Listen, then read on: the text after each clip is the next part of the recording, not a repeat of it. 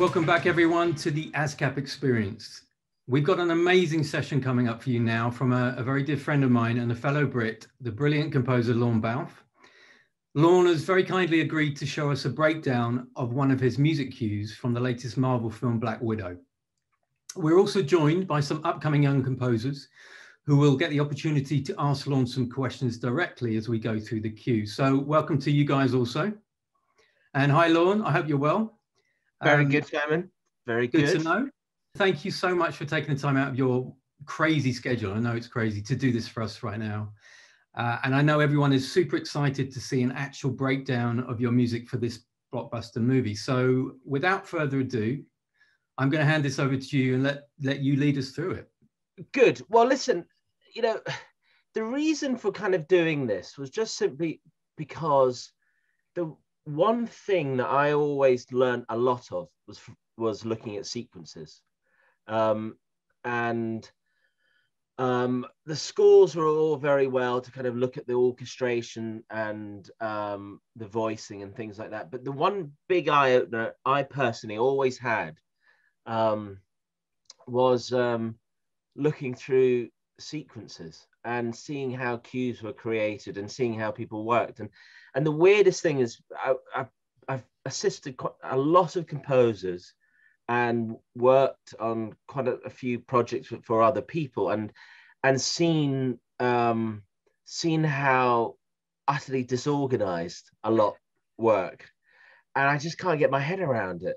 And i kind of and i kind of just i i, I learned i I, I learned kind of certain shortcuts and things and i just thought gosh it's one thing you, you just don't get taught at, at college weirdly enough it's just streamlining the way you work ironically, we're going to talk about streamlining. Yet my template is probably about I don't know 900 instruments or something. But that's that's a different conversation. But it was just about kind of just simply writing and and and the way we kind of treat the sequencer because Cubase, to me, um, it, it's an old quote, but but Cubase really is is my instrument. Um, and sequencers now we just rely on it so much the way we kind of we don't have room for pianos. Well, some of some some ASCAP members have rooms for pianos, but not but not not all of us. So um, so I just thought it would be interesting to look at it. So this is a scene. This is a scene from Black Widow, and um, and I'm sure you all know the kind of the process. You you you do it at college. The concept of spotting, spotting a scene. Um, now with Black Widow, which is very unlike a lot of movies. Um, the what there actually wasn't there was no temp uh, when I started. Uh, temp, temp again.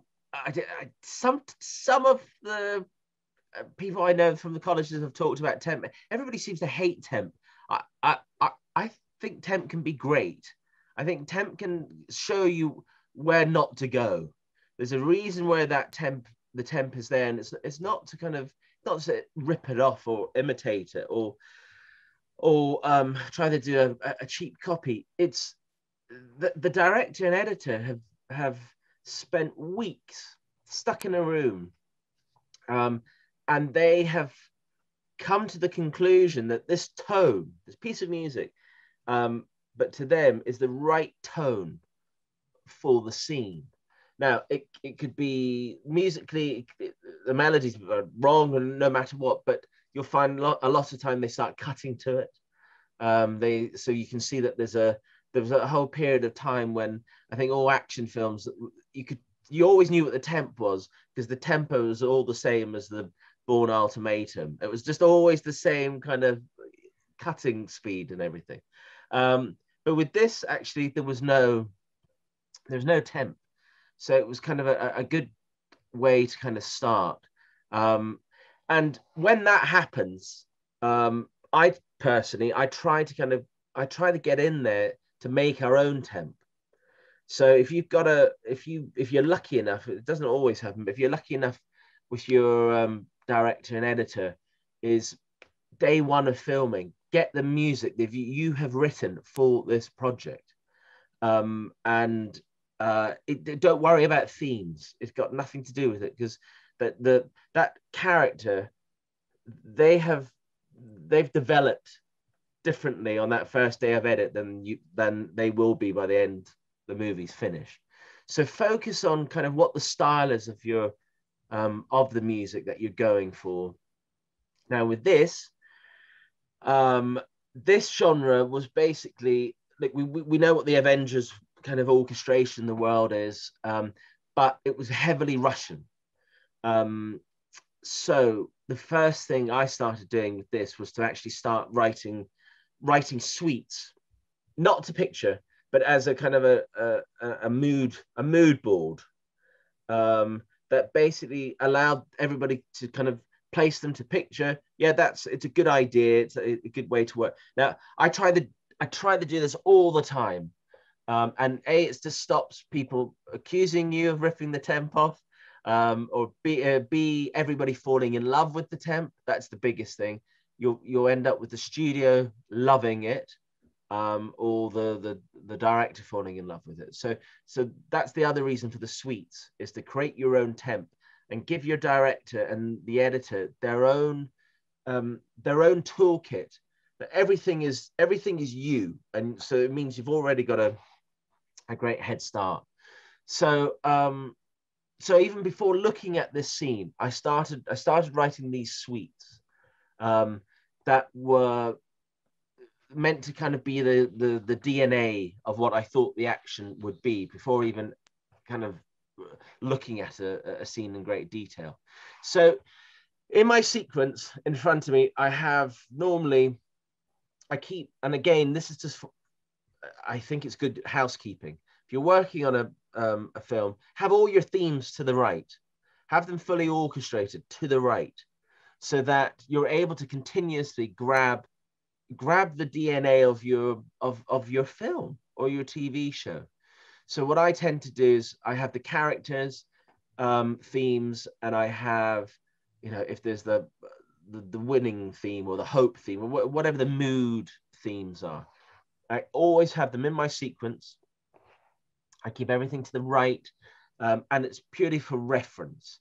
Um, and and I learned that mainly because the amount of hours wasted opening up sequences or trying to find suites for that. Oh no, that theme is going. Also, the other reason is, is so that you know what your theme is. Um, it's it's shocking the amount of times I've kind of worked on things, and I know people kind of sometimes write it down on a piece of paper. They keep it at the side, but it's just so that you can actually. Um, also, sometimes if you're modifying your theme, say that you've you've written it but then you're you're getting more into this kind of zone. You're you're, you're changing it. You just keep updating that theme so it's to your right. So um, this is a bit of like an overview question but i was i was curious. Well first of all i was so excited to learn that Cate Shortland was the director for um, for black widow because i actually was saw her early film lore when i was oh yes. in film school and was so moved by it and it's such a powerful film and like grand in scale but also very intimate. And so i was curious like when you were first working with her how do you get on how do you get on the same page you know with her particularly or or maybe other directors you're working with for the first time?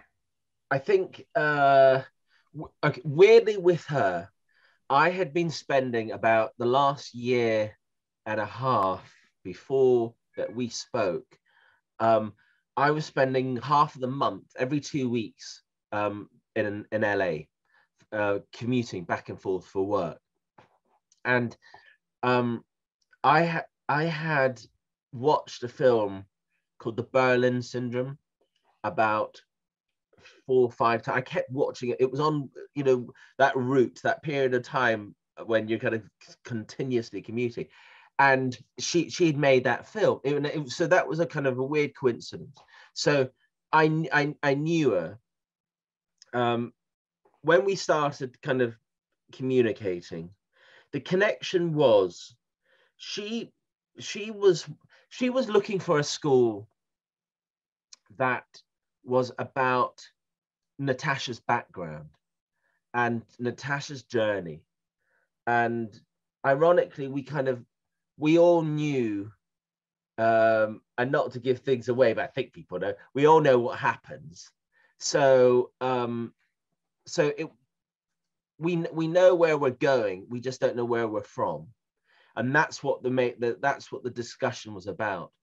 Um, and I think what I what I kind of like everything is everything's a pitch. That's the way I look at it. Because the thing is that you could be the you can have great you can be the best um best composer out there, but you, you doesn't mean you get the job.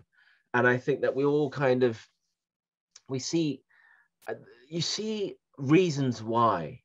And yes every uh, lots of people can write 10 times better themes than a lot of us that are working but it's understanding the storytelling. And and and i think it's about being a filmmaker more more than a composer personally to me um, because you you are you are a department. It's it's very few depart- departments on the film are, are kind of singular even though we're not singular. We, we are we are a, ma- a massive team. But the makeup department the, the sound department are always recognized as a mass of bodies. Um, and the composer kind of has to kind of um, work with the editor work with the director work with the sound department so Cate and I basically started talking about the, the, kind of the background of of Natasha and, and what I and what I kind of said after kind of lots of time talking. We she she would phone me every time in between um, shooting. So every time there was a break, she'd phone, and we kind of have quick snippets of discussions about um, Natasha, and we were talking about her and Yelena's background as, as children and I kind of thought, okay, well, what's the music that they would have listened to as as children? Um, and then I, I, I started looking at traditional music, and and of course some of it has become, you know, Tetris is a traditional theme. So I thought, okay, I'm going to start writing folk songs that were probably that we could they could have possibly listened to, um, with their own lyrics, which was all based on Russian literature. Um, and and that was how kind of instead of the, the talking had got so far and i think it was just a case of i just had to write something and and present it and and give it to her to, to listen to. Because i think after a while talk talking uh, you run out of steam unlike, unlike what we're going to do today but i think i think normally it's just you you there's only so much you can do. You just got to produce the goods, and and and I think it was uh, what she was wanting was this backstory, and the film and the, the film had it. So it wasn't like we were they were struggling to try to kind of um, help find this past that wasn't there. It, it it was all there. So the hope. So what I started doing was writing these folk tunes that um, you know the Red Army also was a big influence, the music of the Red Red Army, and I pushed that more to Yelena's world. Um, but it was to write folk music and and and then write a suite that's you know a minute a minute and a half two minutes where you see where where she could listen to and see the the, the journey of natasha's uh, life and so it's not just about oh, isn't that a, isn't that a pretty tune? It's it's beyond that. It's a journey. Um, that piece of music may never get used. It doesn't matter. What it's about is showing the character's past and the development. So that's that's how we began, and and then that and then that kind of then led to all the, the concept of suites, i.e., what we're looking at now, um, which was the concept of action suites, because we had talked about what is the what is the um, what is the vocabulary for for the action music and um, so I started looking at uh, Shostakovich and Prokofiev, and I, I, I, unlike probably all the majority of you, never never graduated um, at music college. So my, so I have a sheer lack in uh, in musical education, uh, so there has to be a lot of kind of research when I, when I start doing something. But the point of it was look, looking at Russian music's always fascinating because there's very few music around the world that doesn't rely on its own instrumentation. You know, Celtic music, uh, it helps to have Uilleann pipes or, or or bagpipes or fiddle, but Russian music, you, you don't need you don't need a hundred balalaikas in the room to tell you that it's Russian music. So so there's a robustness to it. Um, so again, character suites presented it to Cate. Um, we were kind of we we knew we were on the right path with um, um, which is Ray Winstone's character, and Yelena and Natasha, and then the concept of the sisters theme. So again, everything not to picture, just a clear presentation of of of the path. And then in front of us, that leads us nicely to the factor of the concept of suites, um, the action suites. So, so um, the first suite, um, I'll, I'll just play you. I'll just play you a little bit from it, and then if if you want more, you can uh, go to iTunes and uh, enjoy. um, but this is just a little sample of it.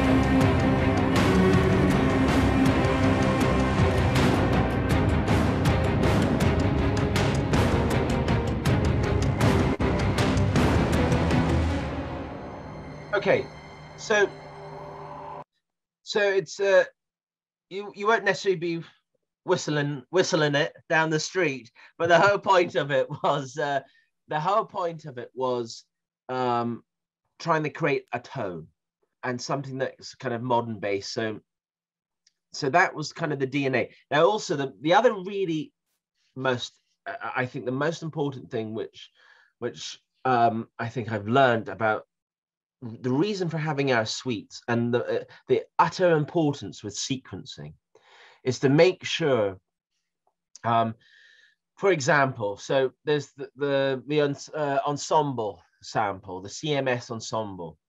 Um, so if we look at that um, the it's it's it's uh, there's no debates about note length. There's no debates about, um, especially in a piece like this, of, of, of what our what our volumes are. But the main thing is that is the reason for being so good with housekeeping um, is because this piece of music, if you've programmed it really well, you can then take it to another scene and change the dynamics in a matter of seconds, and it's already going to work you know you've you've you've got to kind of it's all very well write, writing the music now but you, you've got to be really good at programming. And it and it does take more effort. But the reason for programming it so is is is so that um the cross the, the cross samples every, every we know where those marks are. So if it's a quiet piece you literally if you've programmed it right all you have to do is your quick key is put it up you know plus 30 or something and it'll still match your sample cross uh, cross sample. So so the housekeeping is is so important um, with with your suites and and being able to kind of um, you know i write quickly i know that maybe may sound unartistic to say to write quickly but but it, it is part of the job. And it's it's about um, uh, no, you've got a deadline. And with a movie like this, it's it's you you you have to deliver to uh, whatever two hours of music on this certain date. And if you're messing around because it's all messy and it's not quantized, and things like the main volume, you don't put your main volume in or your expression. Every time you open up your sequence, you're starting from scratch. So just really be good at at um, um, housekeeping. And the other important thing about ha- housekeeping is is which which is the weirdest thing. The key editor, the key editor is your best friend when it comes to se- sequencing. The amount of times that you go to a session and there's wrong notes, and the reason is because you've never no the person who's worked on it has not checked the key editor. And all you have to do is simply when you finish writing your cue, select all minus your percussion because they'll be working on different samples. And you can clearly see where the wrong notes are. That, that put Steve and Mary in the bass department, they, they, you know, we don't want to waste time um, trying to kind of figure out, oh, well, the, the tuba's on a C and you're on a B. Just, just, just have some respect for your orchestrator and just double, double, double check because if you get it wrong, um, in Black Widow, we had we had 118 musicians uh, in um, in Studio One, and uh, every minute costs money. It's that you know, it's it's thousands. So if you're kind of sitting there because you can't quite figure out what the bass was, you should have done your homework, and you've only got yourself to blame, basically. So, um, and if you're sitting there with your director in a session and there's notes wrong, it's just it's it's um not good. Thank you for having us here. It's really interesting. It's really nice to have you here. Um, I was wondering how many suites do you write when you, you you're on this kind of project? Um, do you spend like a lot of time on this, or is just is this just like uh, at the beginning of the project you just do like three or four, or is it really like something you you spend time on um, to to make sure that uh, the director is gonna understand um, what you want to bring to the project? I think it, it, it's it's it's uh, every, every project's different. I think I think if I if you with looking at this, um, with this, look, some directors want to keep experimenting. Um, with with Mission Impossible with Chris, um, I will. There'll be something where you'll go down this rabbit hole and and you may not realize where you where where you're tunneling but somebody else listening to it may get inspiration from it. And i think that i think that's the that's an interesting thing about look the answer is it's time.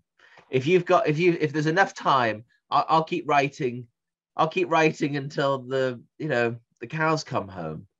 Um if there's a feeling that picture is continuously changing d- d- don't don't rush. Um and then i think i think you kind of just know. You you you know when you've hit the wall there's just no point writing anything else. Um and also it depends on the kind of the the the nature of the project. If you're if you're working on a on a animation there's no real point personally to spend a lot of time kind of trying to do action suites of things because you know the the scoring is going to be a, a total different um, work process. But the themes i think what i try to do is say um, okay natasha with this we got natasha's theme um, then we've got uh, then I, then to showcase it uh, basically i did um, sad, sad Natasha and victorious Natasha, just to kind of just show the different emotions that you can get. Um, and the same, and the same with Dreykov. It was uh, okay. Here's some different emotions. So, I, I, you know, on some on some movies it can be up to four hours of suites. I don't know if that's a good thing or a bad thing, or if that just shows utter incompetence uh, or i don't know but but I, I think what it's about is you you'll learn you'll learn by dialogue with your um, editor and director. You'll you you will be the judge of of how much you should write because you'll sense they're getting a bit impatient or uh, they, they've got the point. We got it. Let's move on. So so you know start working to pictures. So every case is every case is different. Um, but i think it's it's about um, it's like it's like all of this. It's it's about judging judging the room. Even though we're in the world of covid and we haven't been in rooms with anybody um, it, it's it's about judging the room and, and just and just seeing like, this this piece is not working. The st- the style isn't working. All we're trying to do is say um, is this your is this is this your story? Now they've been writing the script or producing it or working on it for years and we get brought in five six months before. So we're kind of we're late to the party. So to me um, some films, uh, some films, what, um, yeah, with with with Michael Bay, Michael, the last movie, I think it was roughly about four four hours, um, but it's developments. That some pieces are very simple, but it was just something in that suite that triggered that triggered inspiration for him, and the same with Cate. There's one section, so that one section then gets elaborated and becomes its own piece. So it, it's it kind of opens up cans of worms because it starts feeding you to that. But but there's uh, but then sometimes the main theme is all you know the main theme is all you need and then you can get going. I think you just you just judge it. You you personally judge the scene yourself. Hey Lawrence, good to see you again. Good seeing uh, you too, Cameron. So you're you're no stranger to these large scale action. I thought I thought you were about to start singing a Rick Astley song there, but anyway. Films like you know Gemini Man and Tomorrow War and Mission Impossible and stuff like that. So I'm wondering, you know, when you transition from project to project of similar genre, do you maintain a, a similar color palette and instrumentation, or are you starting with a blank template every single time? It, it, you know, it's really it's it, it's interesting. So many, some composers, friends of friends of ours will start with uh, an empty an empty template. Literally, they will start loading um, instrument by instrument. Um, I I don't I don't have I don't personally have like a week to to spend on on on a clarinet's a clarinet and a violin's a violin. So what I try to do is kind of I, I keep the same orchestral template um, and it's purely just because if if I'm working with with the orchestra, that, that's the thing. Um, and so so the kind of and you know technology wise, it's just great. You know, the sample like Spitfire bring out a new um, library every day. It seems you know you can't keep up with it, and and I, and I seem to buy every library that comes out. I I buy I seem to buy it all, and then I never have time to look at it. Um, but I, I, I always keep I just I have a, an orchestral template, which is just your normal orchestra. Um, and that'll change sometimes with different articulations because you know sometimes there'll be a new feather bowing um, technique or, or something and we'll kind of keep that there and then at the end of the then at the bottom then i kind of then start uh look you know what it depends on the budget actually. It depends on the budget. Sometimes um, I'll know who the musicians are. So when writing, I'll just use the normal samples, knowing perfectly well. I'm very fortunate that I, that Tina Geyer or Peter Gregson can play it, and we can do electric cello or something, so that the whole kind of that u- uniqueness comes to that. Um, but template wise, because of because of the nature of of the, the, the speed I write at, I, I, I do just keep, I, I have a sketch template, which is um, very simple, long violin, short violin, violin pit. Um, you know, I did a 30 instruments, say, um, and then I've got, and then I've got the beast, um, where I have every everything known to man um, and every drum known to to man. It, you know, as you can see, it, it it's it's it's it's way too much. But personally, I just find, and this is actually a cleaned up. This is a cleaned up um, template, but it, it just it's just so I don't slow down with technology. That that's that to me, techno- technology, as as great as it helps me, I just find sometimes it slows us down in that work, work effort. So so the orchestra template is always the same and then and then and then the the uniqueness kind of changes. But in regards to kind of what you say about the the, act, the action stuff um it's if if if you've got time we try to start making our own samples. Um like with mission impossible we, we had we're fortunate to have it it took maybe two months to kind of sample uh, bongo bonanza. And um, you know, there was 12 bongo players and so we, you have to do them all different volumes different ways of playing it uh, then solos. Um, so then so then you know that, that then that's the ip for that project. That doesn't appear in anything else. Um, and i think i think that's the tricky thing now with so many virtual synths coming out. Um, you buy it and that sound the way i look at it is that that's a lovely synth. I'm not going to say names but here's a great synth. Um, it'll be on every tv show in the next two weeks. Especially if you look at the rate of how many tv shows are being made now with streaming. Um, always bear that in mind and and you play it and you go god this is a great sound. The fact is that is going to now be on everything. If you think it's good, everybody else thinks it's good. Um, and that that unique sound that you think that you're working with is going to be on a rival project that you're working on.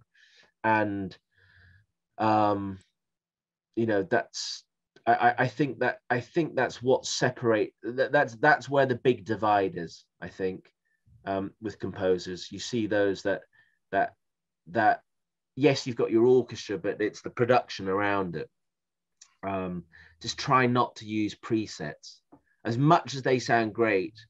It was it was like I think it was the early '90s and the um, the D50 came out, and there was a great preset on it, the Dream or something, and and every song was it was on every song, and and you know just really try treat your synths the same way as you would treat a musician um, that you know it's not they're not just a violinist. It's, it's what the the 30 years that they've been practicing that's what you're paying for.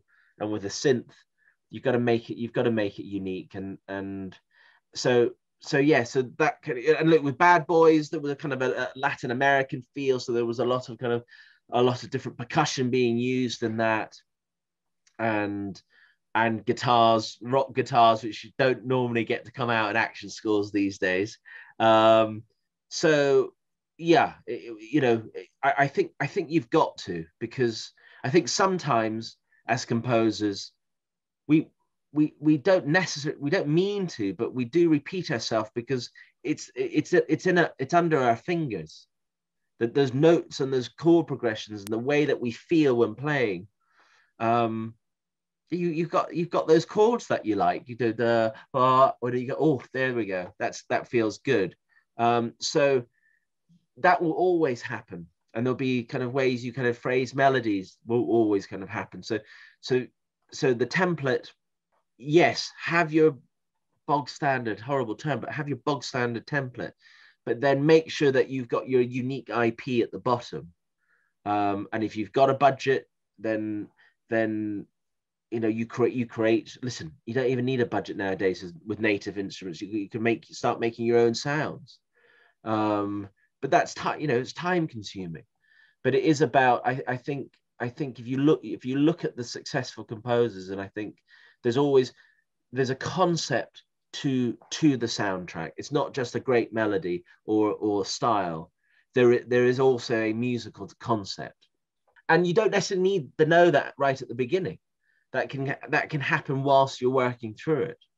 Um, uh, and and with Black Widow, the concept was thankfully right from the beginning it was figuring out this russian this the russian world and the russian vocabulary um, so that was a big influence and and sometimes yeah you know there's some scenes in it where there's drone textures and and it was a it was recording you know, like one balalaika not a hundred but one but but making that into a drone texture um instead of just kind of having a synth doing it. But it's it's yeah. But then again i know many friends we all do that that will just start from a blank canvas and load each sound up from scratch.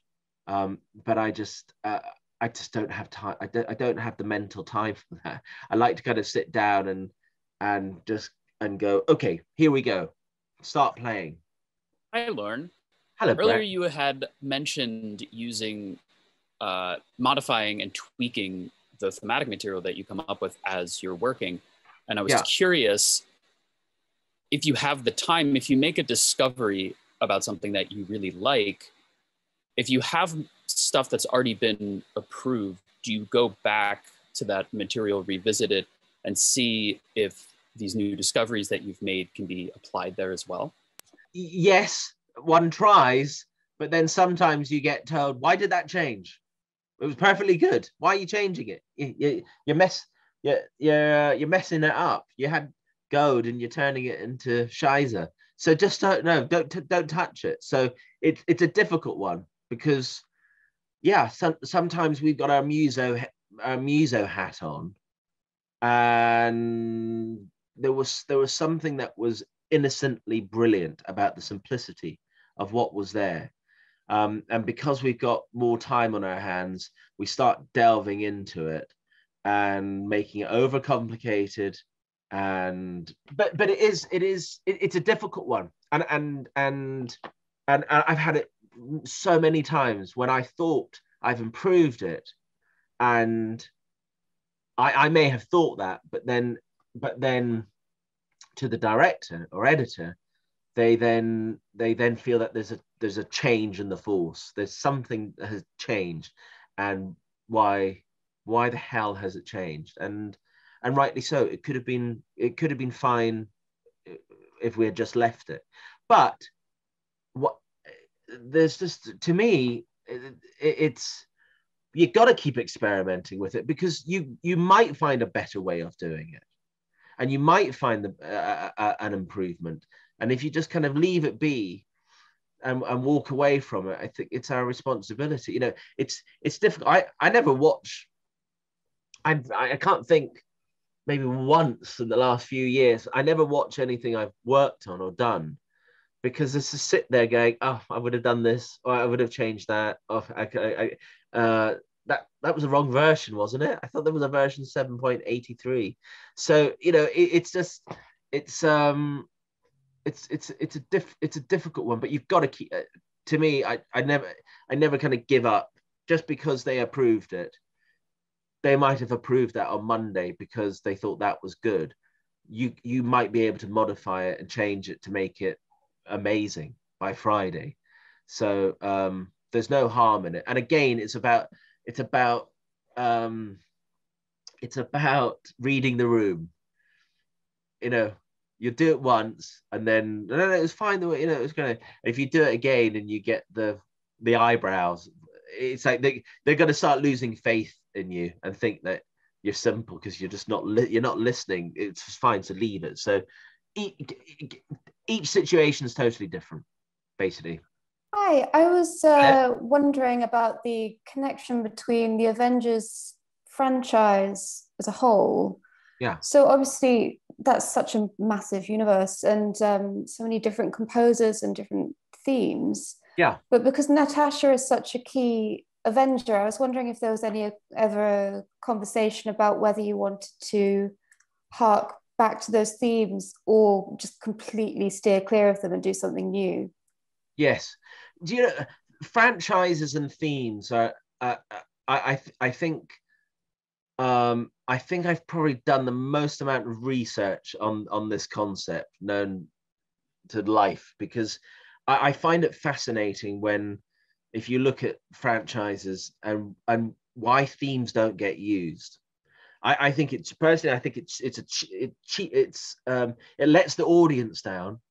We, we've we've got we associate those characters with with the themes, and and and now now having done a few franchises, I now find out why that is the reason, and um, ego is one reason. The the compo- the new composer doesn't want to touch the other composer uh, theme, which to me is just ridiculous because it, it, it's it should be about the, the, the audience and their experience. Um, sometimes, yes, sometimes they, they they they feel that they can write better. Um, but if I look at things like Terminator, there there is a, an iconic theme um, that in the film sometimes it just you'd hear it at the beginning, it was gone. And and if you've got if you've got Arnold, it, that's his theme. Is it you know when the time is right, play the theme. Um, and reinventing it isn't necessarily right all the time. Um, so with the Marvel universe, um, we looked, did all the research and found and found that there was there was there seemed to be hints of a uh, Black Widow theme. Not hints, there was, but it was sparsely used. Um, so, so that that was kind of okay. We've got that food group. Um, we've got the Avengers theme, um, and that is kind of that you know that that is now part of musical musical folklore. I think it's it's uh, Star Wars, Mission Impossible, uh, and the you know the Avengers. You hear it in commercials, and everybody knows what it is now. Whether you've seen the Avengers or not, it doesn't matter. Um, so we we knew we had that DNA, and then when working on the film, it was when when do you use it? When do you use it so you get that shiver up your spine? that tingle on your arm. And um, I'm not going to say when or how you used it, um, but it was used. It, you know, you tried in lots of different places, and you soon kind of looking at things. You go, "Oh, that's." I'm being academic now. I'm not. I'm not thinking about the bigger picture and and, and what the audience are going to feel, uh, and it's got to be used in the right spot. So to me, I think it's it's always so important you look at the past, um, and it's the same with the Mission Impossible franchises. You know, I went, I I I, I started going back and watching all the t- the TV shows, and um, and discovering different ways. You know, the, the, there's two main themes in Mission. You've got the ma- the main theme, uh, and then you've got the plot theme. But in that main opening theme, there's so many things going on. There's a, there's a rhythm that's amazing and that's unique, um, and you've got this call and response melody. So I think doing the research is is is is really important. And and with this, the yes, there was there, there was a Black Widow theme, but the film was about really kind of how she became Black Widow. Uh, so we need so Cate knew that we needed a we needed a, not a new theme but an, a, an additional theme to to show the past um, and the same with Yelena and um, so that's that was the reasoning for starting new the, creating these new themes it was it was really about the uh, what is Natasha's what is Natasha's theme before she became Black Widow and and and that was the kind of that was the arc. So so yes, um, due to the fact I've been in a few franchises, I just think it's so important to to look at it. And also, actually, one other reason: sometimes the studios change, so you can't use the themes. That's the other reason. Sometimes they they they a, a different production company are doing it. So so you get told anytime you touch that theme, it's a license fee of like 80 grand and and you know it, it, that will happen sometimes. So um but then it was the same on But you know bad boys the theme was in one. I don't think i don't i don't think it appeared in two actually. So the first the first thing i did in three was was did the trevor i had to get the Trevor Rabin MIDI sequence. I actually found it in our in our in our backups at the studio. Um, and um, and do it because it's it's the reason why I you know I don't know how you all feel, but it's the reason I got into I got into I got into movies because of these memories. And music is the memory when you hear ET's theme and and Star Wars. When I go and watch a Star Wars now, um, I want to hear that theme. And and the, and with Bond, the same with Bond. You know, it, it, it's it's it's part of what you're seeing and what you're feeling. So so you you can't be dis, you shouldn't you shouldn't be dismissive. That's what I think. Um, but but if you are kind of being invited into this world, it's especially with the Avengers, it, it is a it's character led, um, and and also you know listen you, you can't imitate you know Alan Silvestri's orchestrations are just the, the top, and they're unbelievable and um you know you're kind of like crambling you know in the dark trying to get, do flute runs and, and things and and it's it's um but the work the, the thematic world i think is really always important to try to kind of bring it back and and and and, ha- and have a discussion why why isn't it being allowed to come back? Um and it's it's it's the same with games. Games do games do games just don't do it really well for some reason. They want to they've got franchises and they just stop they give up on the themes and they start new themes again. Um, I, don't, I, don't, I don't quite know why. Um, but i think with this with the with the marvel universe especially avengers being loyal to the theme is is important. Personally that's what i think. The other thing the one thing is this actually this cue um, had a lot of revisions and a lot of picture cuts. So the one thing I'm going to say that is really important is actually not in it, but it's your marker. Your marker information. Just fill it with as much as you want. just really just you know you basically want to know that scene so that you can just not even look at it and your sequencer has got that information especially nowadays everybody's you know well way i run i keep everything in in in the in the computer. I keep picture and sound. I'm not bothering going to pro tools. All in the box. Um, and sometimes if you're traveling and on the, the laptop which is no, not often now with laptops they're more powerful but you know you can deactivate your video and you still got all the information in front of you. So you can just stare at it and and, and get um, thing about it also most important keep your damn um, time signatures in there. The amount of composers I know that just go freestyle and they're kind of writing away. It's just again, it, it's a just lack of respect to your orchestrator. They've got to figure it figure it out, um, and it cha- it changes what you end up delivering. And it's the same with note lengths. Um, I sound like a teacher, a bad teacher, but but its note lengths are so important because you get because that information if it's ba ba ba ba ba ba, if you've if you've got the exact note lengths programmed correctly, there's no debate. It's that is it. What I'm hearing is what I'm seeing. Um, so um, enough of my yapping.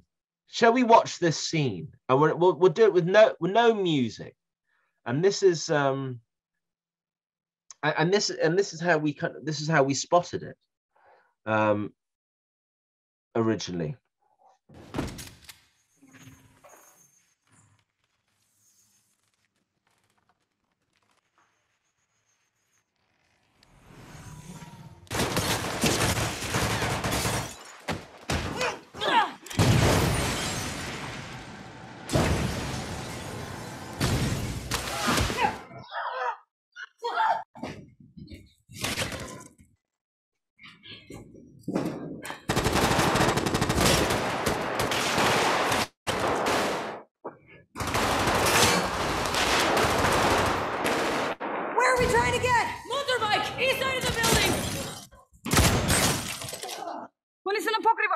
Papa, jag förföljer. Help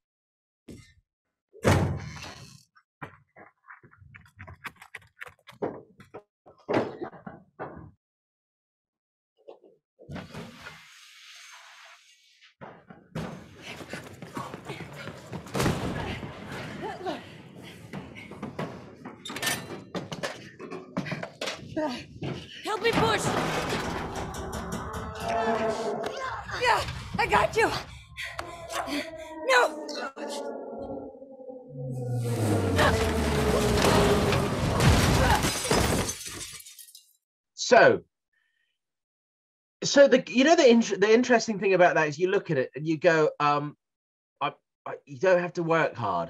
It's a great action sequence as it is, which is always kind of a, um, you're fortunate if you get that. Um, I just want to quickly just play the other suite that the bass uh, that we kind of um, used as inspiration um, for it, uh, which was this one.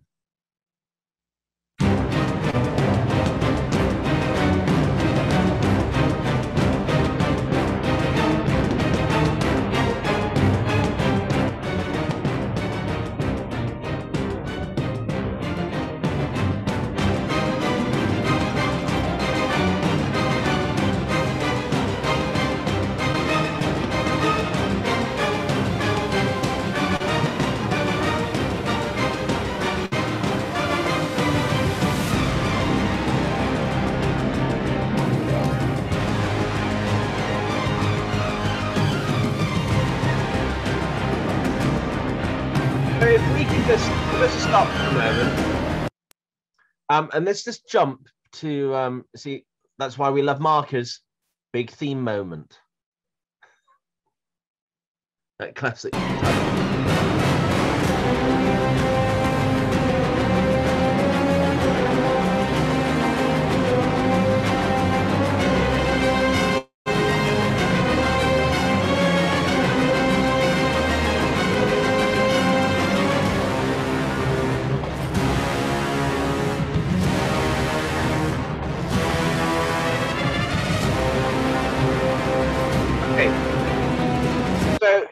So now let's look at the cue. So that so that kind of is an an, action motif. The way I kind of da da da da da da ba, da da da.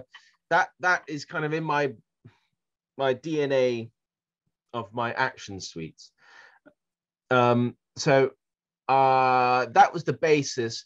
I interesting enough, it just what I, I think is really good and fun is to take music and just throw it to picture. And and you'll you'll you'll see if the tempo's right. You'll see you'll kind of um i think it's really interesting. It's kind of sad that i say that this is interesting but i quite it's quite enjoyable to watch a sequence where you just have a click um playing. No music just the click. Because then you start figuring out what the the, the tempo of what the editor is working at. And they, they have got inbuilt bu- inbuilt tempos sometimes with scenes. And um and you'll you'll figure it out. And and sometimes music you can just just you know just take like a suite or sort of anything you put it on and you'll start seeing oh that's interesting. It's making the scene slower. It's making it faster. Um and that action suite was uh, i knew thematically that would work. I put it on but it was not um, the tempo of it was was not right. So change the tempo, but it was taking kind of th- those ostinatas and uh, food groups um, as a basis, and then um, getting it to picture. So we'll watch it. Uh, let's let's play it with um, maybe without without the sound effects. And I apologize if anything I say sounds elementary, but you know you, you just never know. It's it's like you know you can have we could spend two hours talking about conforming picture, which is something I think is just an utter skill, um, and and I you know I think you get presented with a scene. And I think what nobody really tells you is that that scene is, good, especially on big films like this, that scene is going to change every day. It's going to, the picture cut is changing every day, and your music's going to have to change your music editor will give you the information saying you've lost two frames here, 10 frames here, 10 frames here. So you get that information. And that's the academic way of looking at it. You've got to kind of think, how do I conform this? How can I make this musical? And I think that's the most important thing. Um, so maybe we'll do another ASCAP workshop on conforming because it's just it's just oh boy. Um, but it's uh, but but it change it changes it changes that piece of music and what the the, the point of it is. Um, anyway so based on those two suites knowing that's our kind of that's our dna let's have a listen to this this cue. And and also i think it's bearing in mind um, watching a cue like that uh, that scene the action is so great you kind of know that you just you you, you just have to be there for su- support or subtle punctuation. You don't you don't really it's a great sequence. Um, so you don't have to kind of be i think the phrase is working too hard which sometimes you have to do. Um, anyway let's have a listen to this uh, just the just the music. So you so you hear what happened basically. The car wreck that happened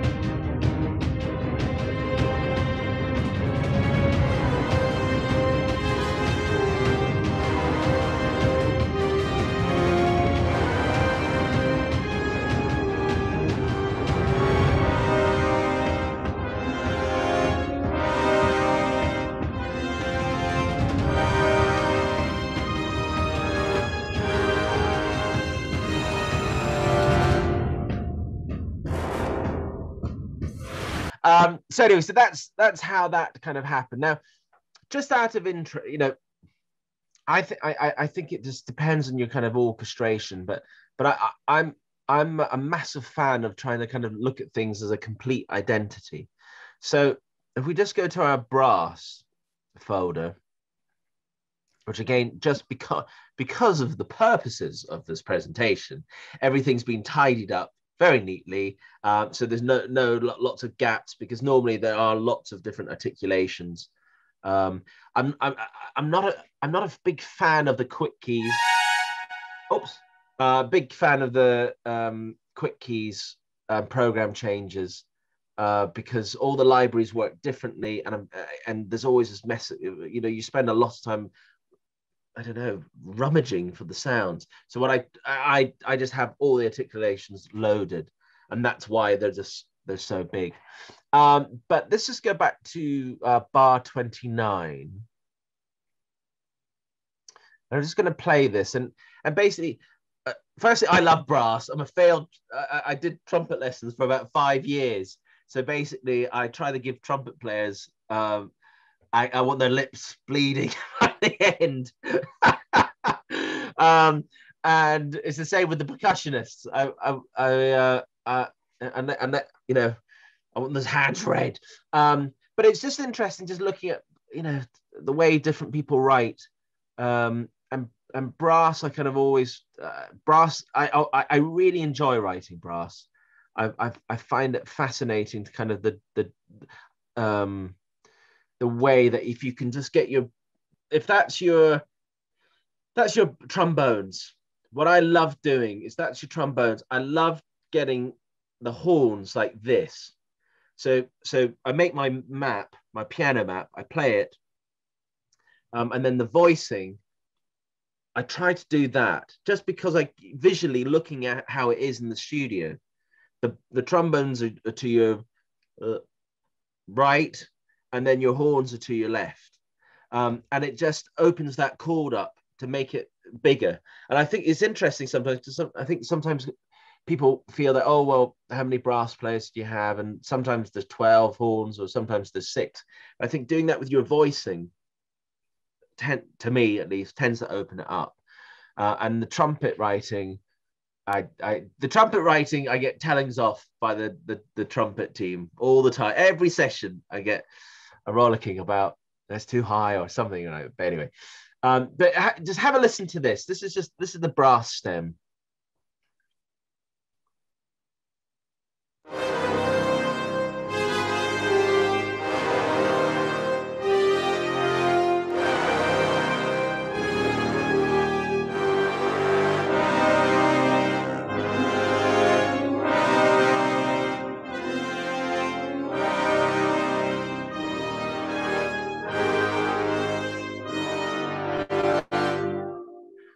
So I, uh, and and again, it's to me at least kind of kind of a bit of Russian a, Ru- a bit of Russian flavor going on there with the brass.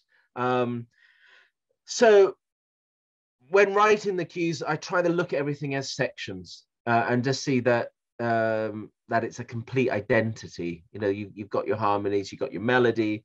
Obviously, you don't want it tooty all the time.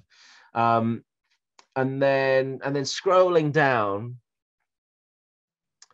uh, we got the brass uh, and then so of a quick look at some percussion shall we? Um, and just we just because there's effects and and things going on basically we're just going to just we bounce it and make it audio. Um, but you'll you'll see the the the, the the utter the, the uh, utter tidiness that has to occur.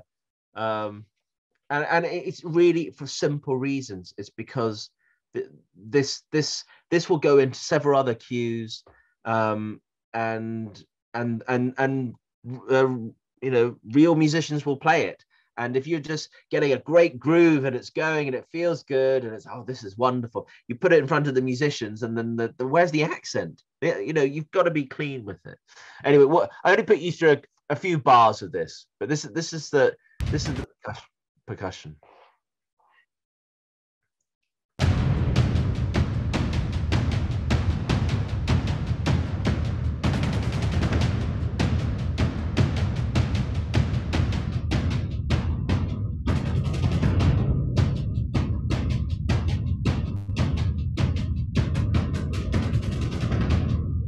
Okay so so so it's it's you know again it's not going to be number one on uh, spotify playlists but but but the thing is is that it's just um you know it's it's neat it's organized and also when with the sound effects there's a lot going on and you don't necessarily have to kind of work too hard at it. Um and we'll just quickly go up to the strings and if anybody's got any question about and and this and and and, and what's going on here, you know, there's so there's lots of uh, this is um, you know trying to kind of get it. It's in some sometimes it depends. Sometimes if there's a, a lack of time, the programming has to get pushed to the side, unfortunately. Uh, but directors and editors are so they I, I I get told still sometimes um, it doesn't sound good or it doesn't sound real. And I think everybody's getting used to the quality of samples now and they feel that it should sound real, even in the demo. Um, so it is really imp- important um, to get your demo sounding right. But we'll just uh, we'll go from uh, 21.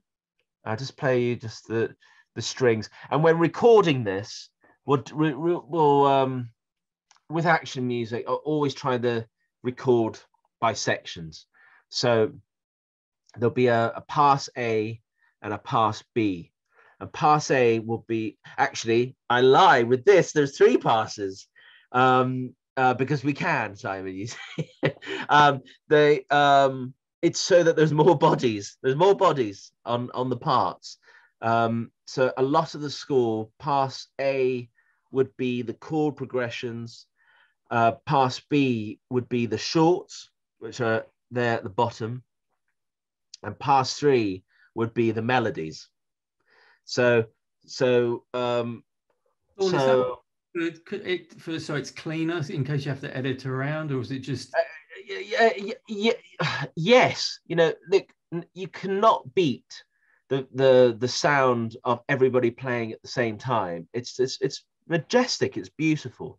Mm. Um, but it's but we're we're filmmaking and we're and there's a there's a dub stage sitting there where after we've recorded this, this picture is changing again. It's it's going to keep changing until it's finished. Um, so you've got to keep that in mind. And and if I've got a if we've got a melody playing, um, and you've got short strings underneath, when that edit happens, you're you're you're you're limiting the the amount of uh, chances there are to make it not sound noticeable. Um, and I think with action sequences also, just always do your short strings separately because they are they are going to be on that fader um, that the dubbing mixer um, is going to push because that can cut through the sound of gunfire that can cut through the sound of cars and things. It, it, it's just great for them to have control. Um, whereas the chord accompaniment it's not really going to help them on the dub stage. We might like it. It might sound lovely and it can it's great to hear but but but the the the working process for them on the dub stage they love it. They love everything being separated and and and with this we recorded we recorded when possible the emotional moments. We recorded everybody together. Um, we record uh, but the action sequences really tried to kind of have as much wide as possible. Um, bra- uh, trum- trumpets trumpets are always recorded separately because they're deaf deafeningly loud even mm. though even though there's only well only there's four four of them or six uh, you know they're still beating 12 french horns and 12 bones. But um but yeah but let's have a quick listen to this. And and this is and this is kind of this is the the the, the string pass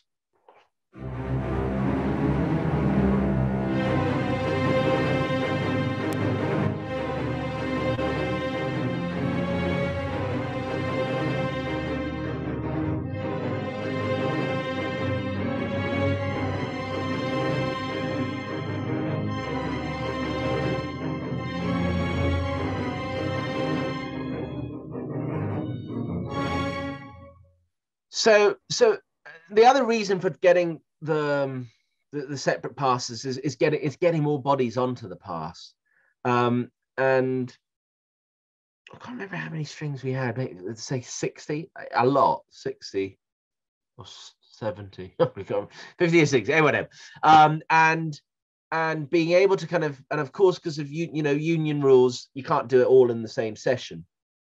So so we'd have string pass A in the morning session, swing pass B in your afternoon session, um, and try to work in order so that your mixing team can keep they can keep finishing cues. Just do really um, focus on making sure that you finish your food groups.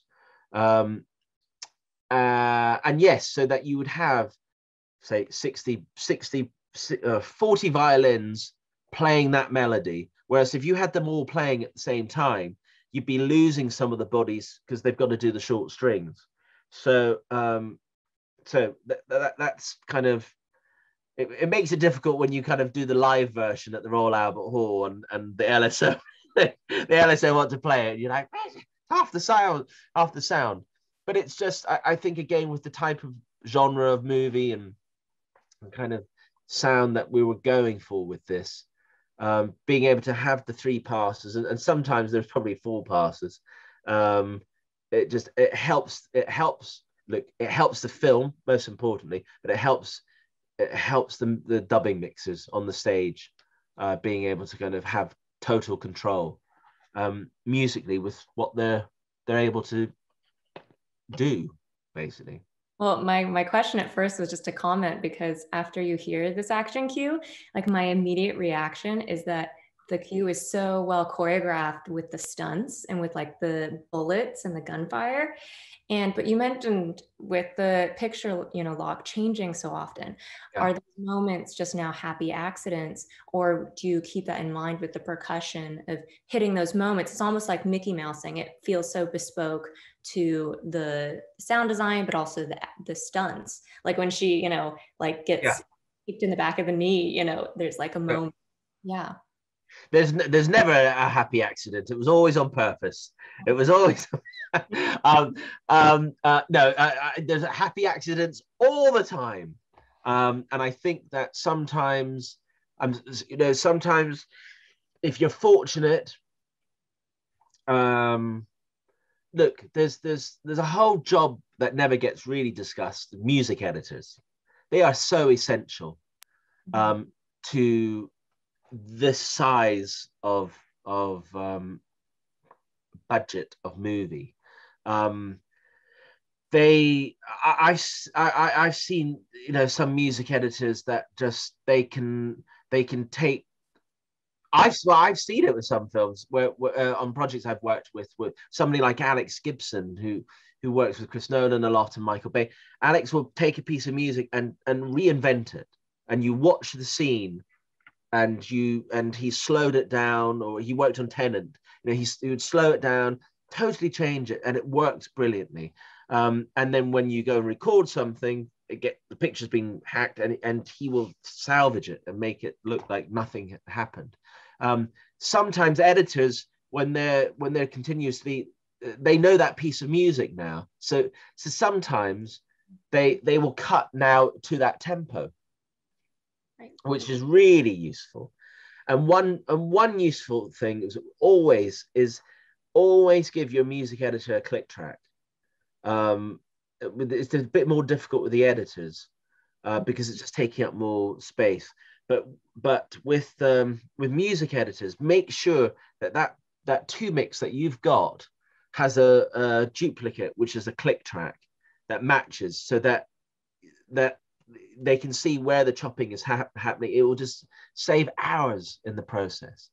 Um, but but no, with, with, something like this, it's it's um, you you you've got lots of different factors. You've got the piece is written, it's written to picture, um, and then and then because it's there, the back the, the editor has got that tempo now, um, yeah. and and and some will and with Leigh on this film, um, yeah, you know, she it, it was. Uh, it's only when you start looking at things you can some you can sometimes tell where the edits are. You'll start seeing, you know, slight tempo changes going on, or nine eight bars, which are the devil. Um, um, but it's it's um, but also yeah, it's it's it, conforming. I think conforming is just such an important skill to learn uh, and it changes the way you're you're telling a story musically. Because if you're just taking frames out here frames out there you're changing the music and it's not going to work as well. And and what i tried to do with conforming is is don't necessarily worry about the middle or what's going on here or here or here. Look at how you begin and how you end. And and and amazing discoveries happen sometimes. You can figure out, I don't need to snip here, here, here. I actually could just, I could actually just change the whole thing by losing a bar at the end or losing a section at the beginning, or you know, you don't need to worry about the fact there are cuts throughout it. Mm-hmm. Um, uh, but with action cues, yeah, you just, again, you go back and, and um, amazing accidents happen sometimes. They just they just that that conforms happened and you're sitting there and it's, and it's like wow that that was a different total different way of hitting it. But that's why it goes back to getting your suites and throwing it to picture and seeing what what happens. And you go oh that's an that's an interesting not a mistake it's an interesting discovery. How about that? Let's go with discovery. Yeah it's a disco- it's a it's a discovery. There are no mistakes only discoveries Lorne Balfe, 21. Love that. Yeah. really good.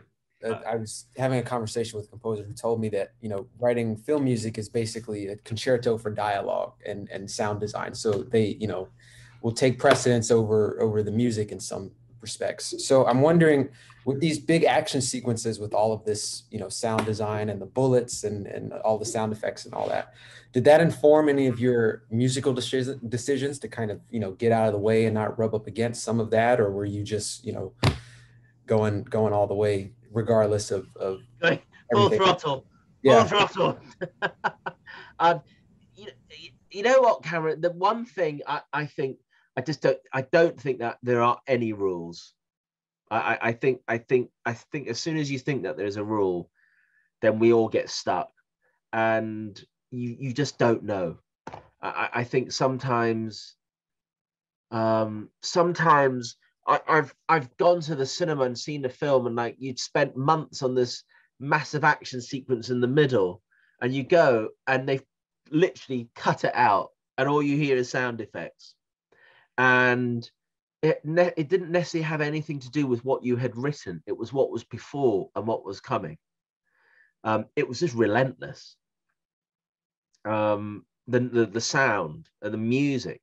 Um, and I think that um, you just you, it, it, everything's different. It's like gunfire. Gunfire is a really difficult one to write to, but then like the somebody said to me the rule with gunfire was you just don't write percussion around it, and then in in Bad Boys for Life, all the the gunfire scenes, it was all this Latin American drums continuously because that's what that's what they liked, and it and it worked for the scene, and um and sometimes sometimes then uh, then the directors might change their mind. They might go, you know what, we've we've had enough sound effects.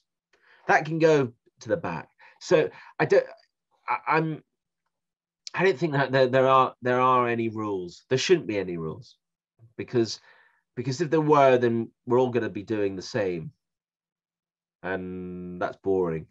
So so I I think and also always remember that that sound effects track is changing continuously. It, it, it is when you're writing on Monday to it, it's got to be totally different in a month's time. Um, so so with action movies, I think it's always just always ask um, to keep updated um, with your sound effects team. And when your cues are approved, get it to them the, the fact is, is that that cue's been approved. They uh, they're listening to it in the studio, so it's out of context because we're always context. We're always playing the music louder to kind of so that it's there's the focus. The real life is that the music will be half the volume, and um, the sound effects team it, will help. Uh, look, there, there's a there's one of the best action sequences I think ever. Uh, fight sequences is in is in um, um, Mission Impossible Fallout, and and it, it, it is one of the best fight sequences. Uh, also, there's no music in it, so I can so I I can say that it's great because I didn't contribute to it at all, but um, but it's just it's sound it's sound effect uh, led. Um, and but weirdly, I had been writing on it. I had I had been in the back trying to write it. I couldn't.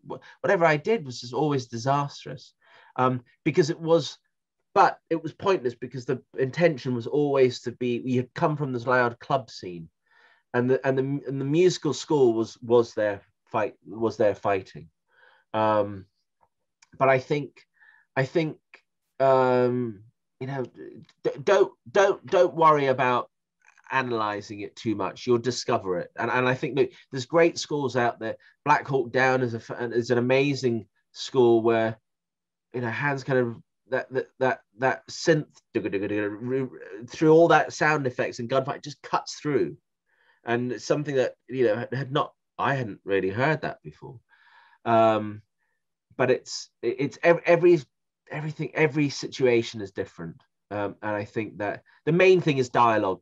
Keep saying to your sound effects team, "Oh, update me," because that sound's going to change. And um, and and when a cue is approved, oh, when a cue is approved, uh, approved, um, send them um, send them the cues so they the, the, it's not a shock for them when they get onto the dub stage and it's like all this or, you know a wall of sound they've got to fight with. It's it's difficult, and and it, and that kind of goes into what the third seminar will be um, is on the kind of the con- the concept of um, you know do we do we you know do, are we meant to be mixing and delivering in in surround or or in stereo it's a it's a difficult one because we we're kind of mixing in i i write in quad um but then i don't I don't. When it goes to the dub stage, they may disagree with the fact that I put this instrument here because they may have the sound of somebody reloading the gun in that that space. So they're gonna they're gonna swap it anyway. Um, but but um, anyway, that that's that's for that's for the third semester. But keep your keep your version numbers so clean.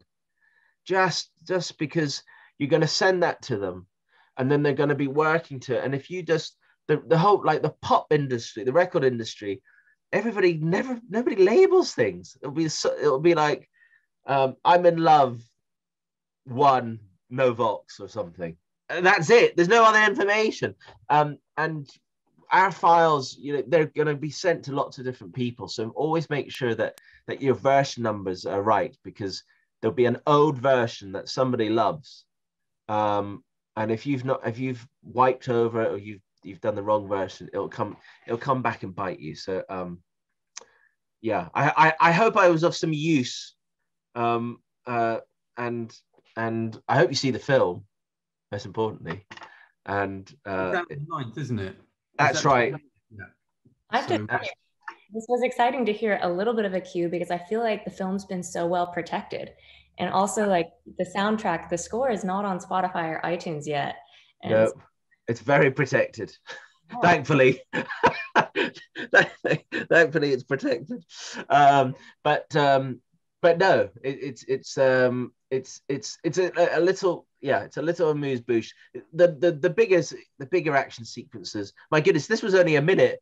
We, we, we would have been here for ten hours if we got analysed some of the other ones, which do last about ten minutes long. So um, yeah, but but you know also the most important thing is that the major is is is understanding also like you know you can see by the sample libraries for the orchestral writing everybody's everybody's got the opportunities now to kind of do these uh, projects Be- before it used to be very monetary based and you know you used to have to buy a fairlight that cost the, the cost of a you know the price of a house ironically if, ironically we've just bought a fair Fairlight Series Three. It's funny how you everybody's going back into. Wow. I know, I know, um, but um, but yeah, it used to cost a house, and it restricted people being able to write.